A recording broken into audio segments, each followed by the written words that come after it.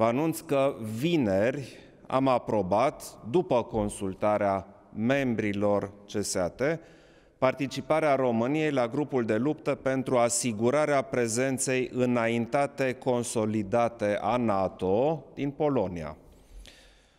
Astfel, începând cu anul 2017, țara noastră va fi prezentă cu o subunitate la nivel de companie, cu un efectiv total de 120 de militari, cu capabilitățile aferente, așa cum de altfel ne-am angajat la summitul NATO de la Varșovia din 2016. Acest grup de luptă are rolul de a contribui la asigurarea securității, complementar forțelor naționale de apărare în situații de criză sau de conflict. Am informat Parlamentul României în această chestiune.